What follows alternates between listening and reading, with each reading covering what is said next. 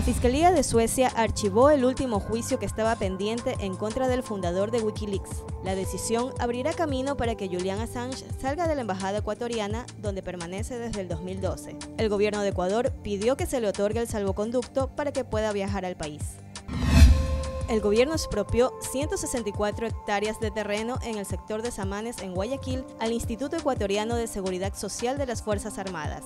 Esto pese a que semanas atrás el régimen informó sobre un acuerdo con el mando militar para el canje con otros terrenos de propiedad del Estado.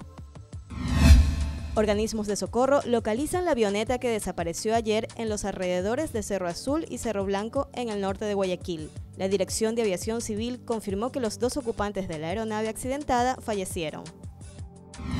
El Consejo de Administración Legislativa se reunirá la próxima semana para definir qué comisión tratará las reformas al Código de la Niñez enviadas por el presidente de la República. Existen opiniones divididas entre padres y madres de familia sobre los cambios a las pensiones alimenticias.